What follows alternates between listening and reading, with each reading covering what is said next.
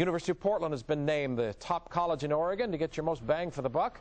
Bloomberg Business Week estimates U of P graduates will make roughly $779,000 more in the 30 years after college than someone who has simply a high school diploma.